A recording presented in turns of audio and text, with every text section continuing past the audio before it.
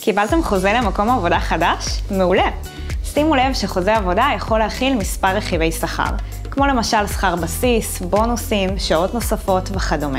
ההמלצה שלנו, לבדוק האם הפרשות כמו פנסיה נעשות על 100% מהרכיבים השונים, ואם לא, בהחלט שווה לנסות לנהל על כך משא ומתן.